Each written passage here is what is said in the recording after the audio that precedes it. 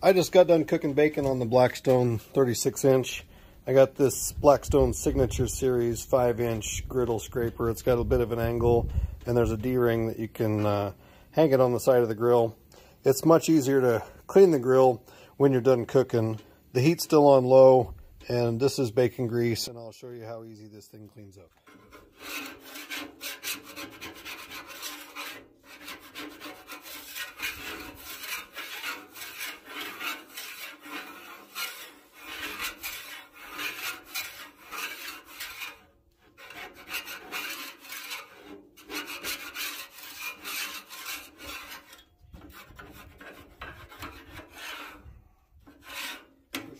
Grease right down the drain.